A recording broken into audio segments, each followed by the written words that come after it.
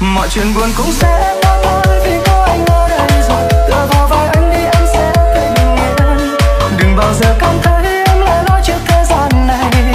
Bởi vì đằng sau luôn có anh nhìn cao hãy cầm chặt tay anh anh sẽ dắt em đi qua nỗi đau này. Và dìu em bước trên con đường và một ngày anh sẽ đến, vì nụ cười em đấy thôi.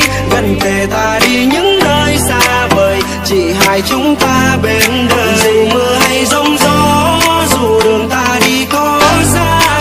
bạn em luôn nói câu yêu và đừng xa cách nhau em à. giờ thì tình đã phai, em đâu